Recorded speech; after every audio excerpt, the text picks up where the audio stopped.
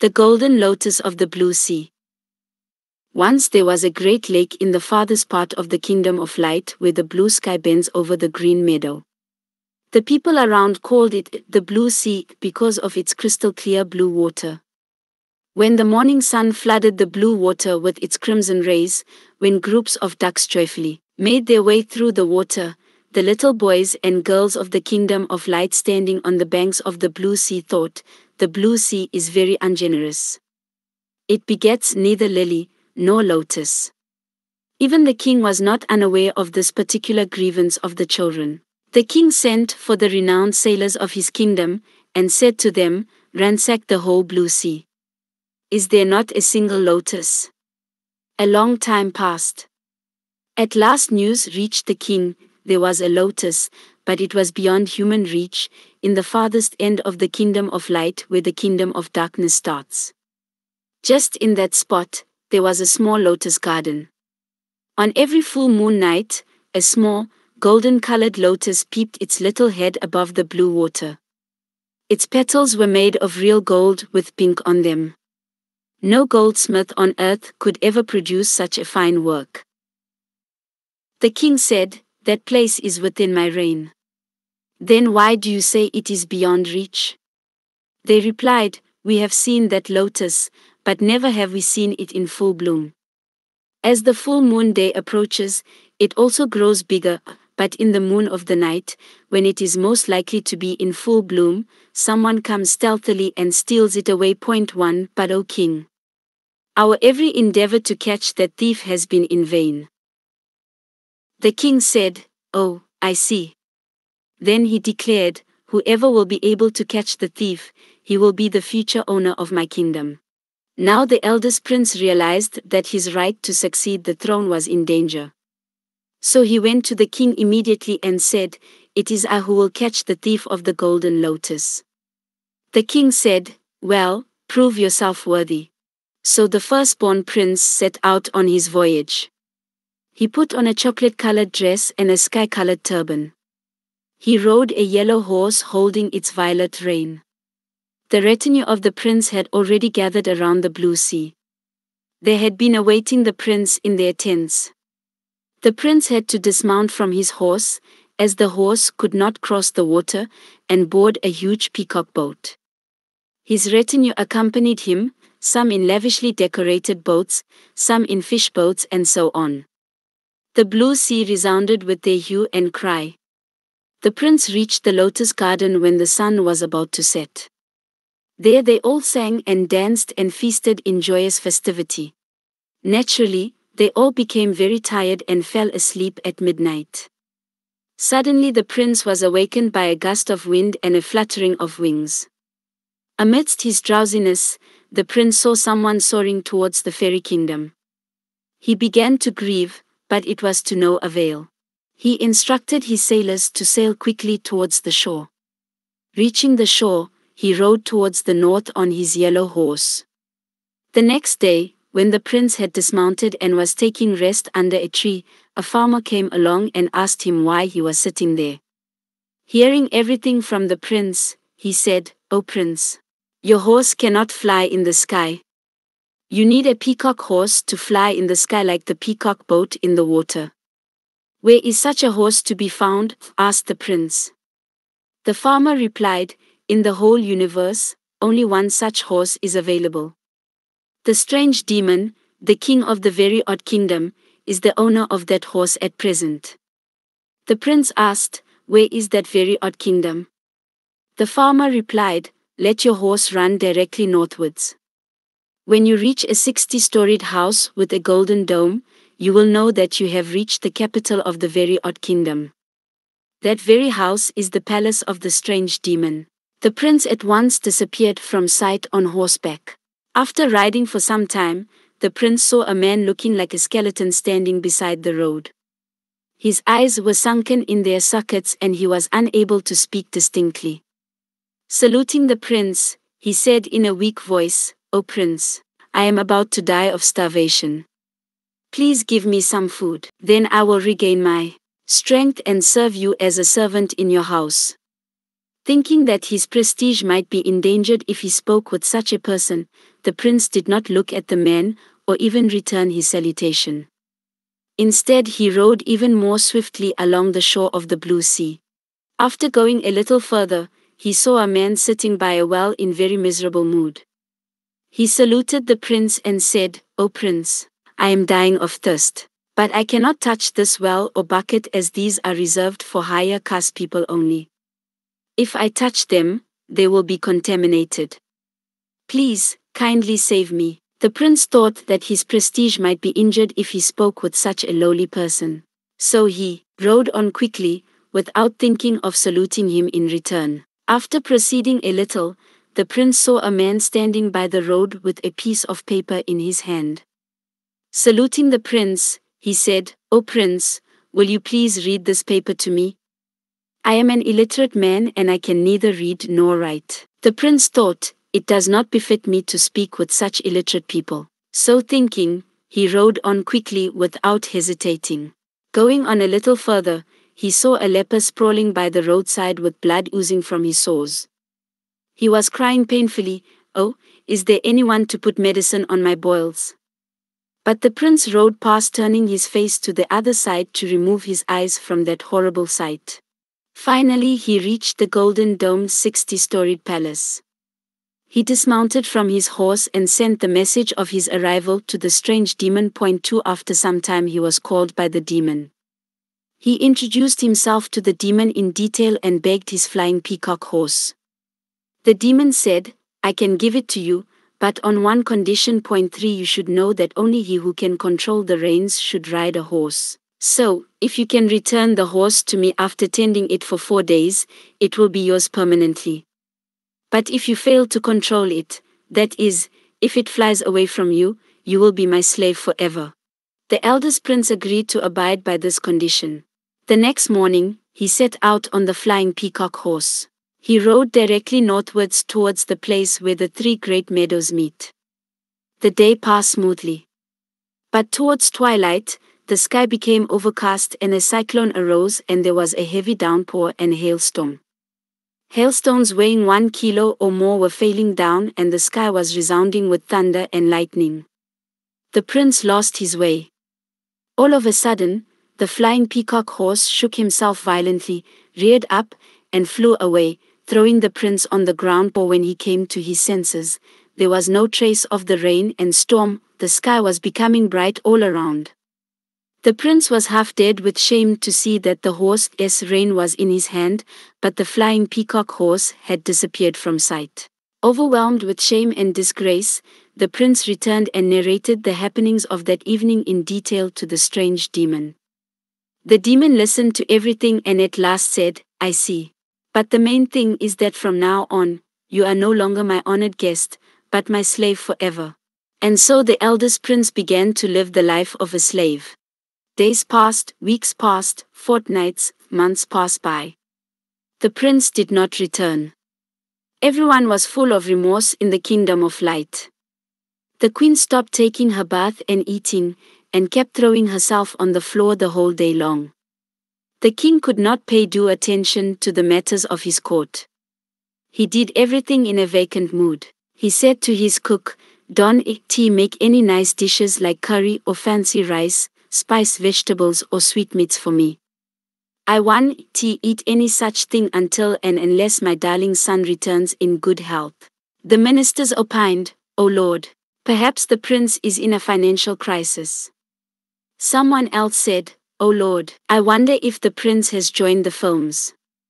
The king replied, But how is that possible? He has finished his educational career. Had he wished to join the films, he could have done so in this country. What was the need of going to another country for that purpose? But yes, maybe he is in monetary trouble. So it was advertised in the newspaper Prince, return soon wherever you are. If you are in a financial crisis, inform us immediately giving your address, and I will send you a money order. But no reply came from the prince.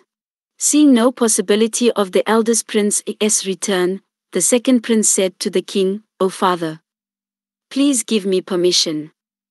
Let me also try. The queen cried aloud, I will never make the same mistake again. I will allow no other son of mine to chase after the flower thief. But the second prince would not yield. He was firm in his decision. Finding no way out, at last the king and the queen gave their permission.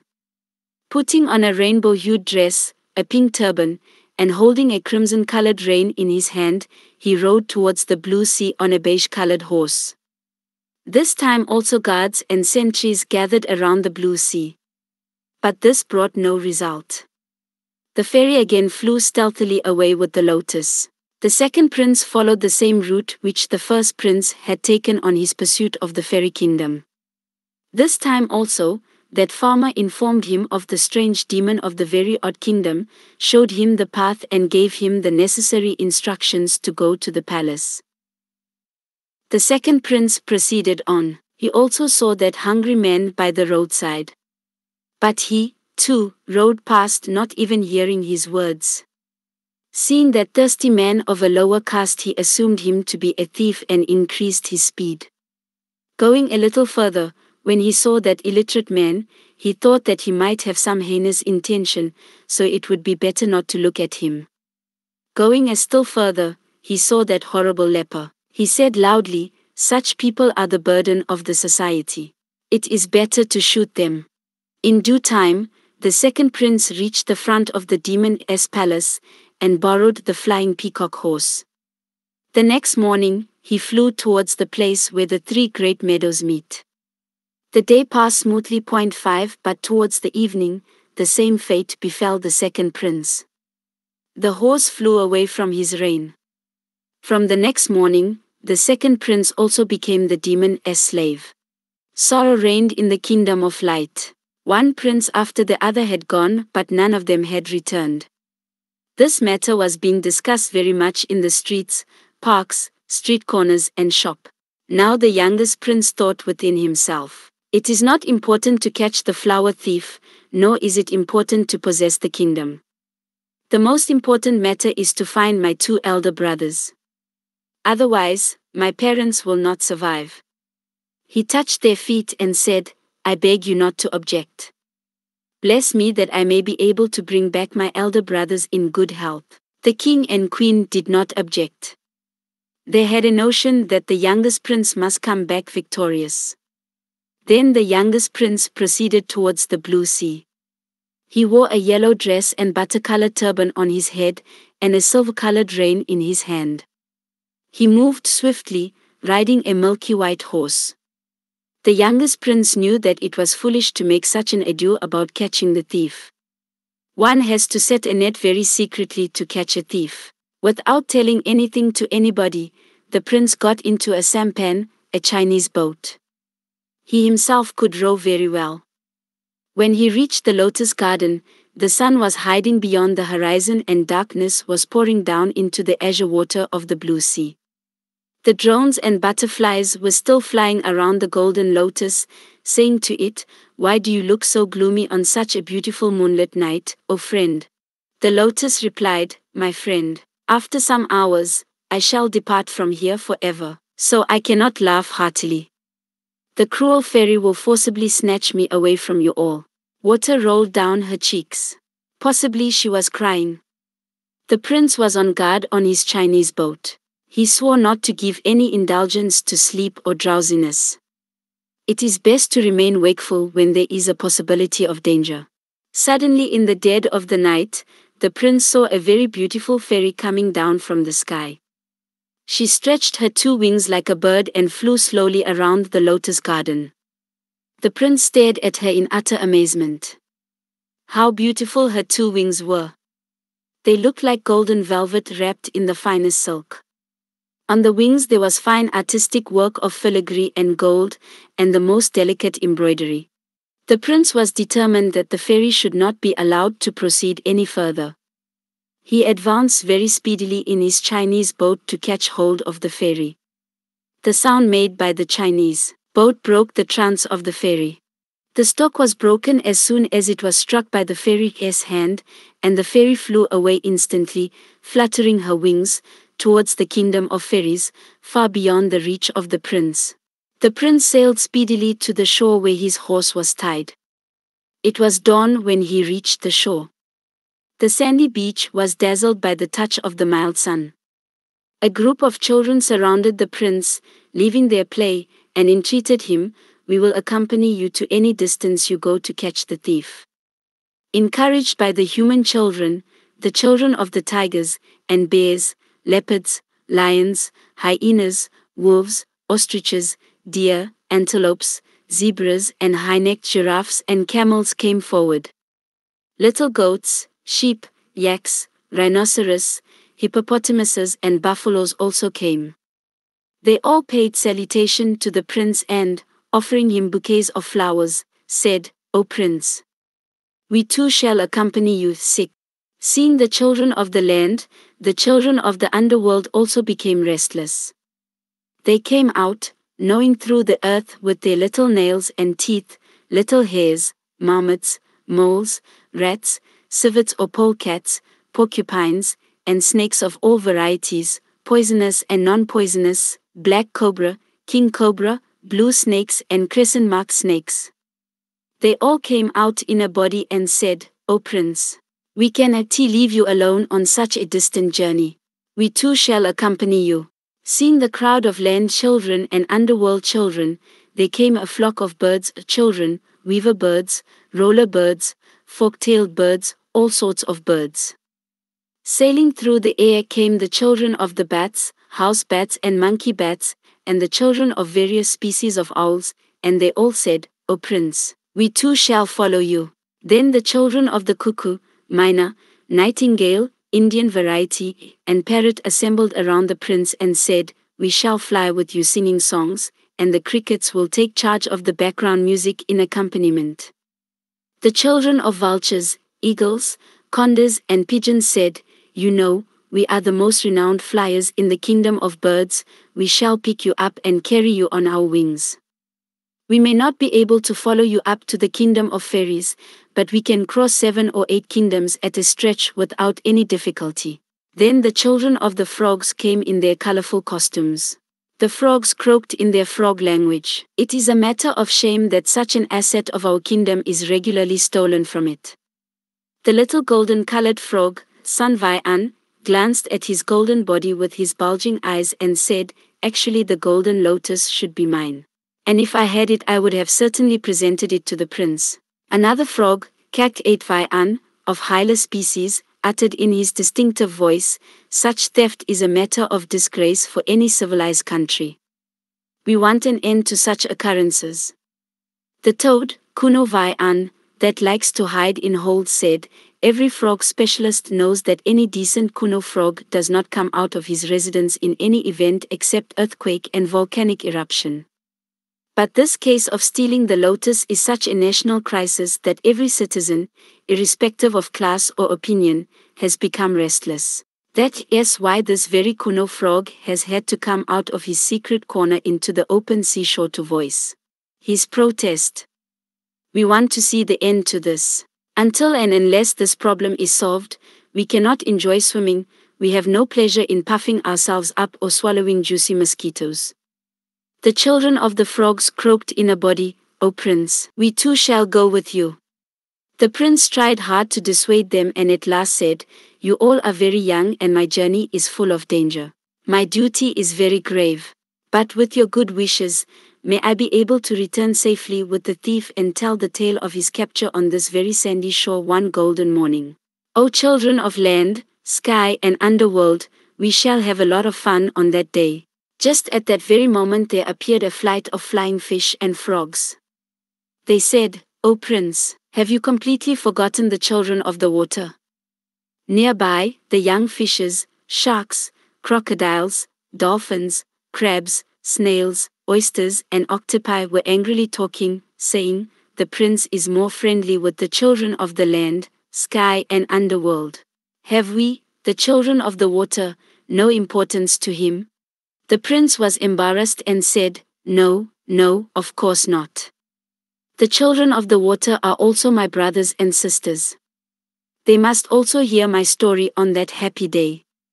All the children of the water peeped their little heads above the water and heard the prince's words. They too became full of joy and began splashing playfully in the water. So the prince continued on his journey.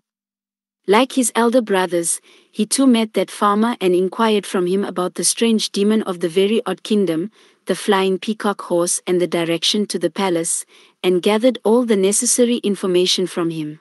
The prince proceeded along, riding his milky white horse. Point 7 The horse was galloping at a tremendous speed, greater even than typhoon, tornado, hurricane, or cyclone, running over narrow paths through green paddy fields, traversing pools and tanks full of lilies, and jumping over boulders of mountain streams. He raced through meadows full of white, cashed flowers and jaub graves and soared through the air. The prince proceeded onward towards that sixty storied palace with the golden dome, the palace of the strange demon. Suddenly it occurred to him that someone was standing beside the road. Indeed, that person must have fallen in grave danger to be standing beside such a solitary road. The prince dismounted from his horse and, saluting him, asked, Are you in difficulty? Please tell me what I can do for you. Without waiting for his reply, the prince said, It is evident from your countenance that you are very hungry. Please eat something before answering my question. Then the prince took out bread smeared with butter from his tiffin carrier and milk from his flask and offered this to the man. After the man had finished eating, the prince repeated, Please tell me whether I can be of any service to you. The man's eyes were full of tears. He said, I have nothing more to say to you, prince. I was hungry, so I was waiting for food. Now I understand that God has endowed you with a mind full of love for humanity, so God sent food for me through your hands. The prince could not find any reply. He thought that he did not deserve any praise for giving food to a needy person. Then the man said, Prince, you really love me. Please keep this stalk of rice with you. If you want to remember me, slap this stalk on the ground, and I shall appear that very moment. Then the prince bade him farewell after giving him salutations and thanks. The horse proceeded on. After riding for some time, the prince again felt someone's presence by the roadside. Seeing a man standing in that scorching heat, he thought, that man must be in danger. The prince alighted from his horse and, saluting him, asked, O brother, are you in difficulty? Before the man could answer, the prince understood from his countenance that he was thirsty and, as he had not drawn water even though he has a bucket and rope by his side, he must be a so-called untouchable. So that prince himself raised a bucket of water and said to him, Methinks you are thirsty. Drink this water and then tell me of your needs. The man drank water to his heart's content but could not say anything to the prince. Suddenly he spoke, his eyes full of tears, O Prince. Everyone hates the poor, but you love them, I shall never forget you. Please keep this stalk of wheat with you as a present from this poor man. If you ever need me, slap this on the ground and I shall appear. The prince again mounted his horse, saluting him and giving him thanks. Again the prince galloped forward. All of a sudden the prince felt someone's presence by the road. He assumed that the man must be in danger. Alighting from the horse and saluting him, he asked, Methinks you are in danger. Can I be of any use to you? Before the man could utter anything, the prince saw that the man had a letter in his hand. It was evident from his manner of holding the letter that he was illiterate. But the prince did not want to hurt his feelings by questioning him. So he said, Methinks you want to give me some auspicious news. Let me read this letter. The prince read out the letter fluently. The letter really did contain happy news. The man's eyes glowed with gratitude toward the prince. He said, Prince, you are really great. Please keep this flowering stalk of barley with you. If you ever want to call this illiterate man, slap this stalk on the ground and I will appear instantly. I will never forget you, Prince. And the prince climbed on his horse after saluting him and giving him thanks. The horse raced forward. All of a sudden, the prince felt that someone was lying by the roadside. He must be suffering from some disease, otherwise he would not have been lying by the road in this manner, he thought. The prince could not pass by, so he got down from his horse and, approaching him, he saw that the man had been suffering from leprosy for a long time. Point pus was oozing from his sores and he was tormented by flies and worms. Tears rolled down the prince's cheeks. He said, Oh, how you suffer. You should have called, suppose I had not seen you. Then the prince washed his sores and applied the healing juice of neem leaves, and bandaged them with his own yellow turban. Then he sat him on his own horse and took him to a leprosy hospital. The leper stared at him for some time with eyes full of gratitude. Then he placed a stalk of corn in his hand and said, If you ever need me, slap the stalk on the ground and I will appear instantly. The prince continued on. It was night when the horse reached the front of the palace of the strange demon of the very odd kingdom. The prince introduced himself to the sentry as a common man. The sentry was very reluctant to allow him to go to the strange demon at first, but being impressed with his attractive personality and sweet behavior, he finally allowed him to enter. The prince was very straightforward and said to the king of the demons, I need your flying peacock horse badly and I am ready to abide by any condition for this. The strange demon repeated the same condition which he had imposed on the first two princes.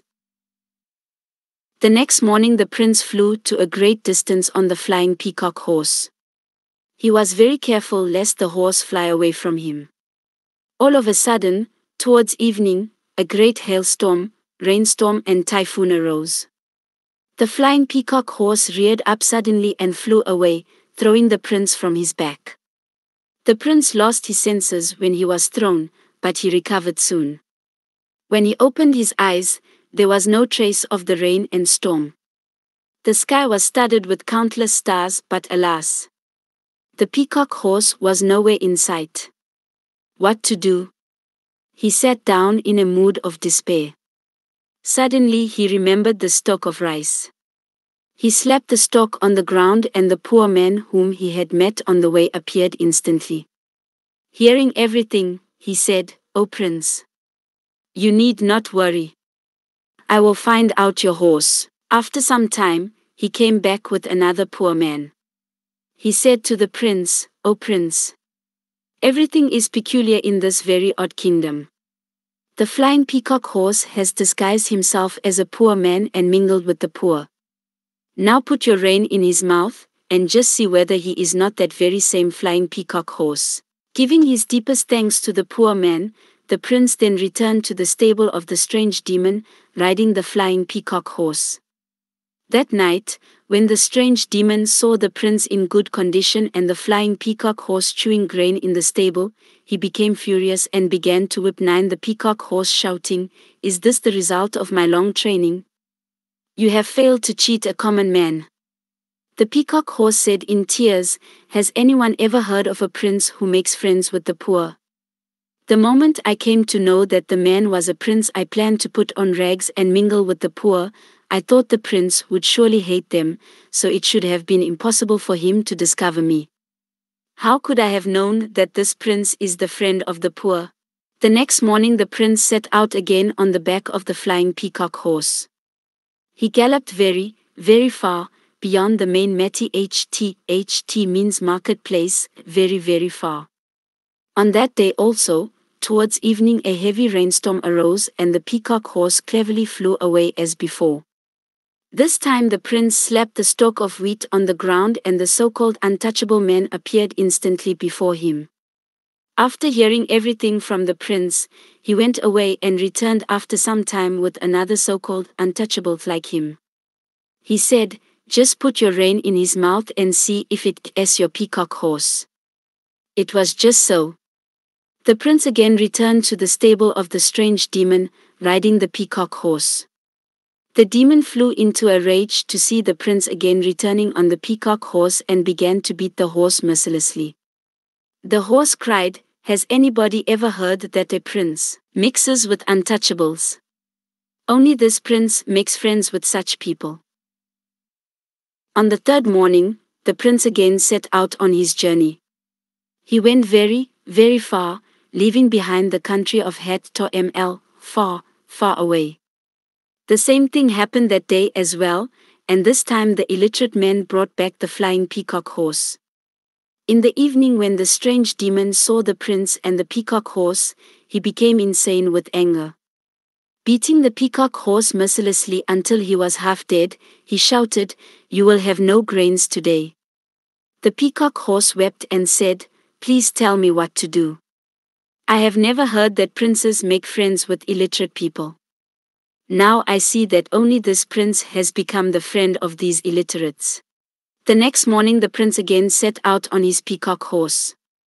That day he traveled very far, leaving behind the land of the 13 feet long seeds of the 12 feet long melons. He went far, far away. The same thing happened that evening also. This time the prince called the leper by slapping the stalk of corn on the ground and discovered the peacock horse with his help. Again he appeared before the strange demon on his peacock horse. However angry the demon was inside himself, he appeared outwardly very gentle. This is the nature of the demons. They are always very gentle even with those whom they suppress, whom they suffocate inch by inch. Now the demon started thinking whether any other means could be found so that he would not lose his flying peacock horse. So he applied his first trick. He thought, if I can confine the prince in this kingdom by the temptation of delicious foods, 10 I will not have to lose the peacock horse. He then said to the prince, with a show of outward cordiality, You have suffered a great deal in my kingdom during these few days. I heartily wish that you should taste the delicious food of my kingdom tomorrow. I hope you realize that this country is famous for its fine foods. The prince said, Is it so? The demon answered, Yes, you know little about the pleasures of eating good food in this kingdom. Do you know what our daily menu is? We eat golden cakes fried in clarified butter, pearl water mixed with coconut kernel, spice parboil curry with salmon fish made of platinum, and in the morning we brush our teeth with diamond powder. The prince asked, Is there such an arrangement for everyone here?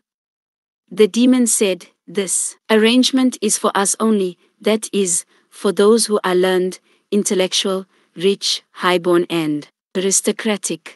Those with whom you associate due to your ignorance, those poor, mean, and illiterate people, where would they get such things? They neither know how to cook nor eat. They eat stale rice and scorched egg fruit and they brush their teeth with ash. The next day the prince went to the demon Iges palace on invitation. He went there reluctantly, out of sheer courtesy. When he arrived, he found that there was a royal feast. Before him were spread so many dishes and bowls, some of gold, some of silver, some studded with diamonds, all finely carved. He did not even know the names of all the pots and utensils. The distance between some of the dishes was not less than one mile. There were some telescopes also to see the foods kept in the distant dishes. The prince was not familiar with most of the dishes served. Fancy rice, fried vegetables, green vegetables, mixed vegetables, breaded vegetables, 700 types of curry, roasted meats, braised meats, shish kebab, and besides these, something he could recognize very well mangoes. There were small Langra mangoes of Hazipur, Desheri mangoes of Lucknow, Alphonso mangoes of Bombay, yellow jadulu, mangoes of Bhagalpur, Fazli mangoes of Malda, Ranipasand, Bigampasand, and Kohaito mangoes of Murshidabad, Sarikas mangoes of Hooghly, Pirafuli mangoes of Shiorafuli, Biganfili mangoes of Madras, and so many other kinds as well. Then there were lechis of Saharanpur, Muzaffarpur and Baripur, watermelons from Lucknow, halwa sweets, rabri of Vrindaban, cream sweets, Gaya sweets of Rajasthan, Shanpapri, Kolakanda Pora from Gaya and Deoghar, Marab jam from Suri, white milk sweet of Menka, Sitabhog and Mihidana from Badamon, Gaja from Chandanagar, Kaicha of Janay Denikaya Langcha of Shaktigarh, Tasty Puffed Rice Balls from Jayanagar, Subhojisa Puria of Kuznanagar, Manohara from Baidanga, Konebara. Shana Jalebi and Raskadamba from Murshidabad, curds from Netwar and Nababganj, sweet rice pudding from Dhaka, Chandinchurd from Pabna, Kankagola of Miragocha, Nadia, and sweet laddu of Delhi, which is such a thing that one who has swallowed it and one who has not swallowed it, both have to repent afterwards. The prince began to taste a little of each item, but his stomach was full after tasting only some of these dishes. Thinking that overeating was bad for his health and moreover, that as he was supposed to leave early the next morning, eating too much at night would not be good, he quickly finished his meal and got up from the table. After supper he talked with the strange demon for some time, so it was quite dark when the prince left the palace.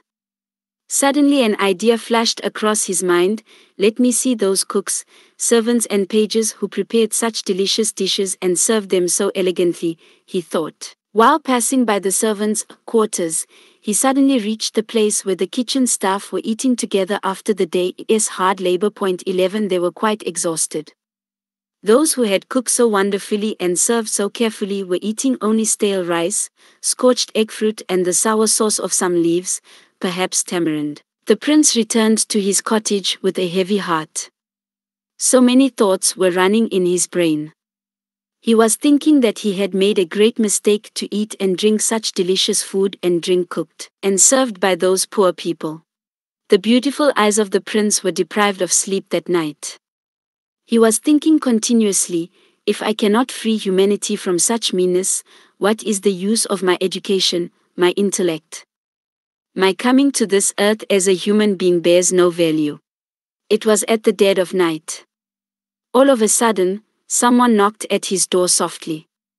As soon as the prince opened the door, the man instructed him to be silent by pressing his finger against his lips. Point 12 Then he closed the door and said to him, O prince, I am your friend. After you came out of the strange demon's palace, he was very restless. It seems he is thinking that he has failed to captivate you. Then he called an urgent meeting in which it was decided that you would be assassinated this very night within the next 15 or 20 minutes. Armed guards will surround this house lest you try to escape. The prince looked at him with eyes full of gratitude and asked, Who are you? Then the man took the prince to the storeroom where the provisions were kept, and said to him, O prince, please lift that cover in the corner of the room. Removing the cover, the prince saw that under it there was a long tunnel. The man handed a flashlight to the prince and said, Prince, go along that way. 13 After crawling for about a mile, the prince suddenly saw the blue sky overhead. The place where the tunnel ended was an open field outside the city. Standing there, he began to think, now what to do? I might try to make my way across the boundary of the very odd kingdom on foot, but this will be quite dangerous. A few days ago, the passport and visa system was introduced, so no one can pass unnoticed. One may cross the border by giving some money as a bribe, but I have no intention to make my way by giving any bribe. All of a sudden, an idea came to his mind. He slapped the stalks of rice, wheat, barley, and corn together on the ground, and before him appeared that poor man, that untouchable, the illiterate man, and the leper. They heard everything and at last said, O prince, now there is no way to recede or retreat. Now we will have to fight with him face to face. Don't worry at all. We four will create a stir among the young people 14 and they will help you in large numbers. Though the demons are powerful, they are very few in number. If human beings have a proper understanding of their rights, and unitedly stand to establish these rights, all the strength of the demons will disappear just like a piece of straw before a current. The four friends of the prince then set out on their respective duties. They sent the message of a famous poet of the kingdom of light to all the young people of that country. Awake, brothers and sisters. Today you will have to awake and stand up against the tyranny of the demons. You will have to stand unitedly to fight against them. The hollow message of peace is meaningless today. As long as the demons are alive, the message of peace is sweet to hear, but is of no use to the society. The forces of destruction are spreading venom in all directions. The sweet gospels of peace have been reduced to mockery. Before I depart, I send my clarion call to those who have been preparing themselves, in every home, for the battle against the demons. The huge waste of the villains will never add any glorious chapter to human history.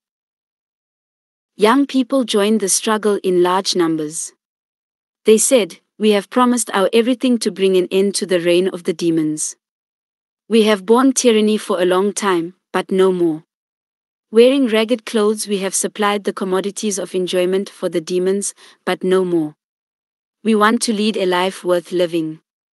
All the wealth of this universe is the common property of all living beings. We want it to tolerate deception any longer. We want food, clothes, shelter, medicine, and education. We want to lead an honorable life. The prince said, These are the very words I wanted to hear from you. We want the end of the demonic rule. But before discharging the final blow, the opponent party should be given a chance to amend itself, that is why we want to give the strange demon a chance. At first, the demon was quite unwilling to hold any discussion with them. At last, seeing them many in number, he said with reluctance, Well, I have no objection to talk with some of your representatives. In the course of discussion, the demon pretended that he did not deny that the demands of the humans were legitimate, but where is the money? In order to rebuild the state, he said, expenditure has to be curtailed, exports have to be increased and imports decreased, and it is necessary to accelerate the production of agricultural and industrial goods. If people today are busy with trifling demands, how then is it possible to rebuild the very odd kingdom? So people should raise only one slogan today labor, more labor, and still more labor. Demands of housing, education, medical treatment, we have heard enough of your demands. Now I advise you, forget your demands for the right to higher wages, education, medical treatment, and better accommodation for the time being, and go and labor hard. The representatives of the human beings said, How wonderful. But then the question is, if you don't t accept our right to live, how can we labor hard? The discussion was interrupted. The demon and his associates now became active to create divisions among the youth. They said to the religious leaders, pundits, priests, and mullahs, religious leaders, do you see what is happening? Religion is becoming polluted, society is becoming polluted, everything is spoiled. After some time, perhaps these loutish youth will say, these pundits, priests, and mullahs, they are the parasites of the society, they suck the lifeblood of humanity by taking advantage of the weakness of their minds. So a big group of priests, pundits, and mullahs joined the demons. They declared, what people are saying now is sheer injustice. People starve as a consequence of their own sins committed in their previous lives. So to fight for the establishment of their rights is to try to overmaster God. But there were some good people even among the priests and mullahs and pandits, of course. They declared, what the Prince S group, the human beings, are saying is right. To support them is right. Ministers and vice ministers were giving them high posts in government service. Some were trapped in this way, too, but most of the people said, We are going to be deceived by such temptation no longer, we have long been cheated for our foolishness, but no more. The strange demon noticed that each of his arrows was missing its target. Then he captured some good orators by spending much money. The work of these orators was to make the rank and file of human beings understand that the proper way to achieve their demand was to bear injustice silently and not resort to struggle. By tolerating injustice, they said, when a person becomes nonviolent, a kind of spiritual power awakens in him. And as a result of this spiritual power, peace and equality prevail throughout the country. So you should rather engage yourself in the practice of self purification than have recourse to struggle. But the humans paid no heed to this either. Now the demon became restless. He began to run to and fro like an insane person, tearing his hair and shouting violently. In no time his mask of gentleness was rent asunder. Then he started crying out loudly in his demonic tongue. O devils, O demons, man-eaters, ghost children, where are you my friends and comrades come and save me from the humans. O black marketeers and bribers, O pot-bellied come, O come. Where are you? I am going to be killed by humanity. Devils, demons, black marketeers and adulterators join the gang of demons in large numbers. But even among them, a few felt the pangs of conscience, they repented their own misdeeds and joined the group of humans. But most of the bribers and big officials, police officers and military officials, ticket collectors, goods officers and ticket checkers and many others, and along with them those who had mixed sand with sugar, mud in cement, dust of tamarind seeds with flour, and poison in medicine all ran to join the gang of demons. However, all were not of the same mentality, and of course all the officials of the demon kingdom were not corrupt. Those who were honest joined the group of humans. The struggle grew serious. What a grim struggle it was. No one had ever seen such a struggle. In that fight, land, water and sky, hydrosphere, lithosphere, atmosphere, and stratosphere shuddered. People were fighting without even sufficient food to eat and wearing tattered clothes. The soldiers of the demon, on the other hand, were getting good food and plenty of fine clothes. But in spite of all these hardships, the smiles of the human beings had not abated and their songs never stopped. They constantly upheld the sublime ideal of life, singing, We are all brethren in this universe, we will equally share all pleasure and pain. Building up many small squads of soldiers, the youths fought on, singing, Proceed on and on. The sky above is resounding with the sound of drums, and the earth below is waiting expectantly to welcome the glorious dawn. O the youths of the crimson dawn, march ahead, march ahead. Then the youths raise slogans equal rights for all humanity, one nation for all people. Tyranny will no longer be tolerated. No hypocrisy in the name of religion. All people of the world, unite. More and more youths join the humans, singing unitedly, Victory is ours.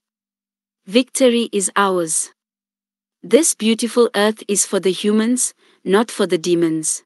The struggle became very grim. Such a struggle was not fought even at the time of the Ramayana or the Mahabharata. The demons had powerful bombs, dangerous arms capable of killing many people at a time, and lethal weapons full of poisonous gas. But they could not use them because both the humans and the demons would fall victim by their use, as both of them were the inhabitants of the same earth. Ultimately, the demons began to retreat. Finding no other alternative, the strange demon surrendered to the humans. Point 15 The youth said, Punish them. Give them capital punishment. But the prince said, No. We have accepted the real meaning of nonviolence, ahimsa. Not to use arms against harmless people but to fight the exploiters or those who torture innocent people, this is true nonviolence, the sacred duty which we have performed. Those who are now captive in our hands, those demons, they are also our brethren. We should try to rectify their nature. So the prince formed a new government and advised that government to build a good number of rectification centers where those demons would get every facility for their mental and spiritual upliftment. Then the prince set his two elder brothers free from the slavery of the demons and requested them to return to the kingdom of light as soon as possible, since their parents must have been extremely anxious about them. The first and second princes set out on their way home. Then the youngest prince bade farewell to the inhabitants of the very odd kingdom with tearful eyes and flew towards the blue sea on his peacock horse. This time there was no need of a Chinese boat. The peacock horse reached the lotus garden directly. That night, too, the fairy came. But as soon as she noticed the peacock horse, she jumped upon the golden lotus and flew away swiftly with it, just like a hawk. It was quite clear to the prince that the fairy had become quite frightened today. She understood that she now had her rival in the sky also, and that the glory of her fairy kingdom was going to decline. The fairy flew far and the prince followed her, seen crossing the kingdom of clouds, leaping across the kingdom of the moon, flying past clusters of stars, planets and meteors in that misty moonlit night, piercing through the nebula along the Milky Way. The prince felt that the fairy had now become quite tired, and she flapped her wings desperately. Gradually she became exhausted, no more could she fly. The peacock horse, too, had become very tired. He was perspiring from every pore even in such a cold atmosphere. Just then, all of a sudden the fairy entered the gravitational pull of her fairy kingdom, and flew rapidly downwards with the prince following swiftly behind. The fairy took shelter on the roof of a huge palace in the fairy kingdom. Just when she was about to escape down the staircase, the prince's peacock horse landed on the spot. The prince caught hold of the fairy's hand and said, O flower thief! Where will you escape to? Her whole body was trembling with fear like a butterfly caught in a net, and both of her wings were trembling also. She was struck dumb. She lowered her head bashfully. The prince said, Why are you silent? You must speak. Tell me why you used to steal that flower. The fairy, quivering with fear, replied, O prince. This is my favorite pastime, on the full moon night, I take a bath in the airy stream of the sky and then I pluck a flower from your blue sea. I offer that golden lotus to God in my worship. During the following month, I place it in my hairband and count the days until the next full moon night. The prince said, You offered a stolen flower to God. The fairy said, What to do? Would you have given it to me if I had asked? The prince said, Of course. You should have asked for it. With her face bent downwards, the fairy admitted her fault. Then the prince said, Will you please go with me to our country, the kingdom of light? The fairy replied, I will agree to your proposal, but there is one condition. I myself will not fly, but will ride with you on your peacock horse.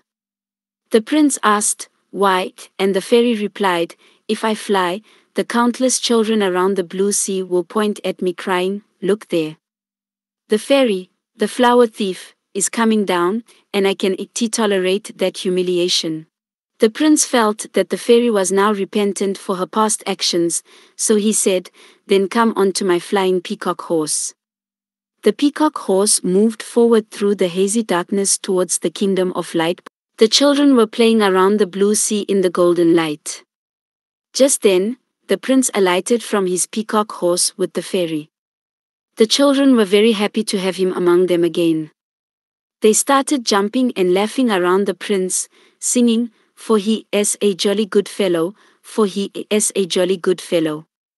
Seeing the joy of the children of the land, the children of the underworld and the children of the sky came running and flying. The children of the water peeped their heads above the water, ah, the youngest prince. All the children gave shouts of joy, three cheers for the youngest prince. Hip, hip, hooray. Immediately they surrounded the prince and demanded. We want a story, many, many, beautiful, funny, colorful stories. So the prince narrated his adventurous story in detail, 18 only omitting one single point. He never told that this very fairy was that flower thief, because the prince noticed that her face was reddening with shame as the story was proceeding. From then onwards, the golden lotus of the blue sea was never stolen again.